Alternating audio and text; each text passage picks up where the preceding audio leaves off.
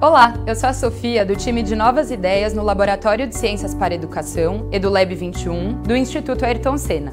O conteúdo que vocês vão assistir é uma palestra ministrada pelo professor doutor Oliver John, da Universidade da Califórnia, Berkeley, e membro do Comitê Científico do EduLab. Nesta palestra, o professor John apresenta a organização conceitual do modelo das competências socioemocionais. Por se tratar de um tema que ainda gera dúvidas em todos aqueles que trabalham com educação, é importante que se possa organizar conceitualmente essas competências. Há uma grande quantidade de termos e de definições para os aspectos relacionados a essas competências, e em outras linhas de estudo, na educação, na psicologia e em outras áreas do conhecimento, que possuem propostas variadas para esta organização. A escolha por uma dessas formas de organizar não diminui a validade de haver múltiplas abordagens, já que não existe apenas um caminho correto para essa definição. O EduLab 21 optou por adotar um modelo conceitual para as competências socioemocionais, que é um modelo de personalidade que reúne uma ampla gama de evidências empíricas tendo sido replicado em diferentes países. Espero que a palestra seja produtiva para você. Aproveite!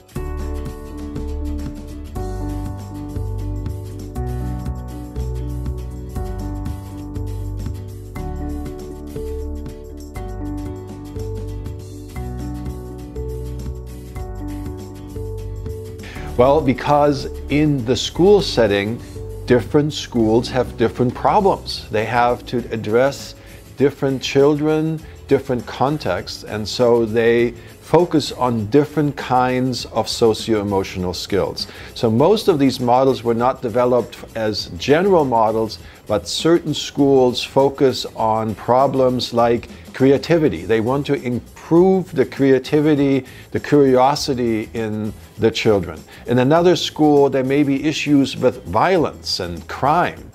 And so they need to work on interpersonal skills like empathy and respect and trust.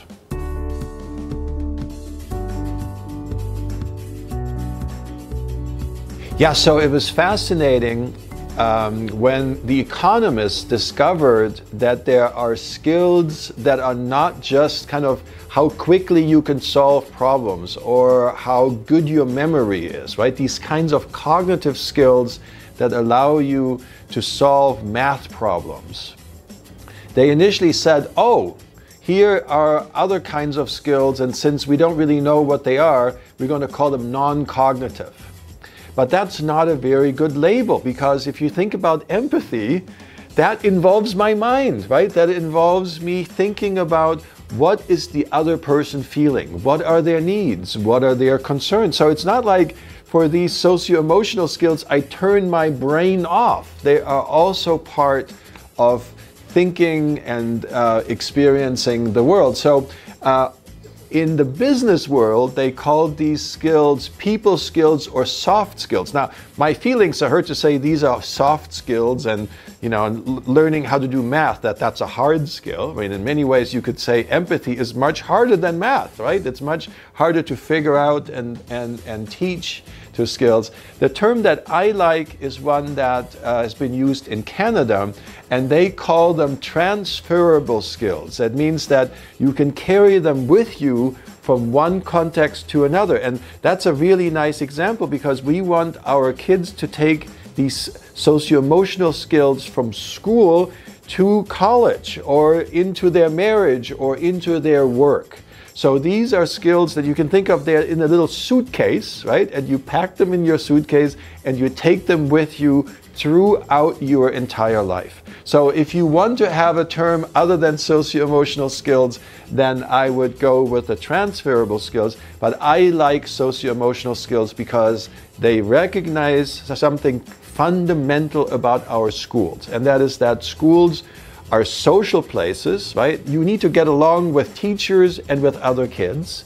And they're also emotional places because lots of emotional stuff happens. If I get a bad grade back, I'm sad. If the teacher doesn't allow me to write the essay about a question that I really like, I'm frustrated or I might be angry, right? If my best friend moves, I'm sad. So those are issues, you know, that emphasize that schools are both social and emotional places, and so those are really good labels for these kinds of skills.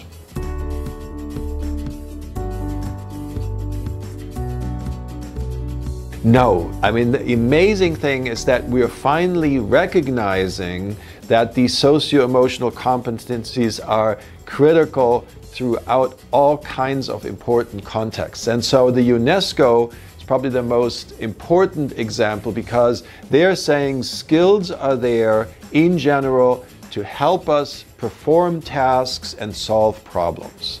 And what that means is that the socio emotional characteristics are also skills because they help us deal with problems, solve problems in domains not just like education and training, but also when later we have a job, when we have problems in our relationships, in our marriages, with our children, when we need to manage our health, when we worry about well being and happiness. So, those are all domains um, that are critical.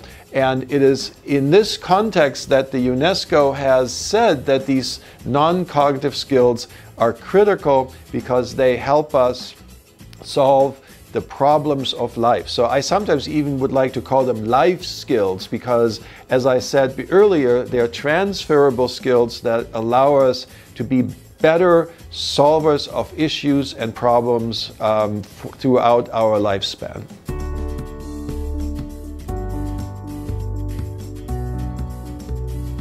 Well, if it, we're thinking of skills, they need to have a certain stability. In other words, that um, there have to be uh, effects of these skills on behavior, on the kinds of feelings that we have, on the kinds of thoughts and cognitions that we have, and they have to be relatively consistently evident uh, over time and situation. So that's one thing that they are, that um, they are detectable on a consistent basis.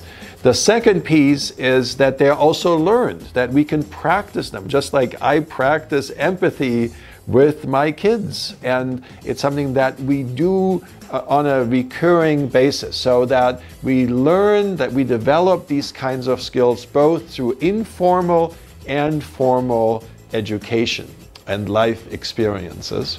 And then the third piece is that if these are really socio emotional skills, then they should connect up with important outcomes. And we sometimes say socio-economic, and what we mean by that, it's not just about making more money when we're um, grown-ups, but um, that it's also important for our relationships, for our citizenship, for our involvement with our neighborhoods, um, with clubs, and the civic community.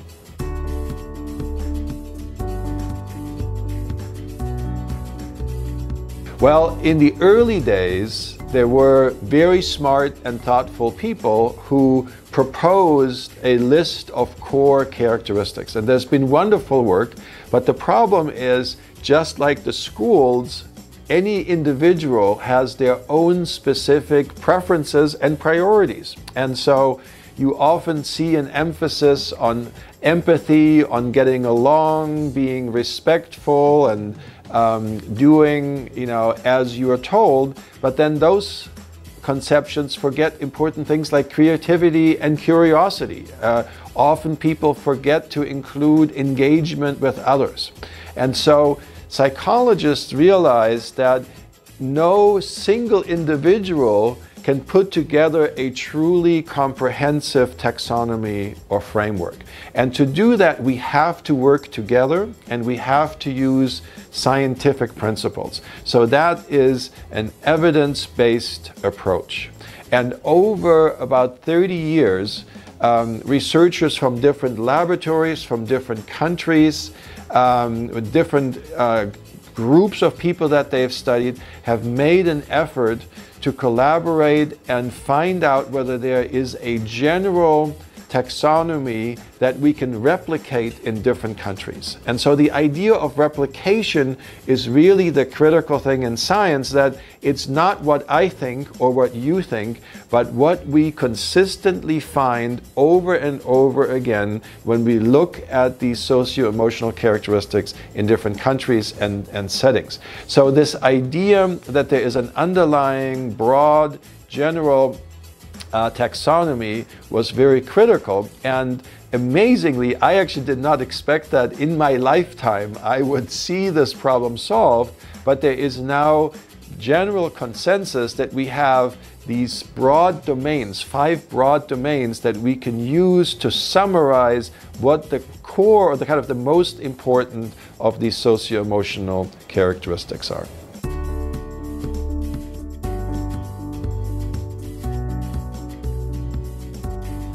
The idea was that there would be a broad and comprehensive model that would really address all the major socio-emotional characteristics that had been identified and suggested, but that at the same time would have parsimony, that we are not ending up with thousands of different um, socio-emotional uh, skills. And in a way, the, the work went like what we would call today crowdsourcing, right? That different groups all over the uh, world were working together on developing this model. And it has shown that there are five broad domains that we can use to summarize the more specific socio-emotional skills um, that we want to distinguish in the school context. And um, the uh, Brazilian team here has been centered at the Institute um, Ayrton Senna, and the work was started by uh, two Brazilian researchers, um, Ricardo Primi and uh, Daniel Santos, who reviewed all of the existing work and then pulled together uh, questions and items um, that uh, could be used to define these uh, particular skills. And what was wonderful is um, that they didn't just uh, include scientists, they um, uh, studied uh, more than 120 students from public schools. they obtained ratings from um, uh, teachers and uh, got information from school principals so that really the effort here in Brazil was again comprehensive but then focused on a manageable set of attributes. So what we now have are these five broad domains and uh, 17 more specific concepts that we call facets that are summarized in the next slide.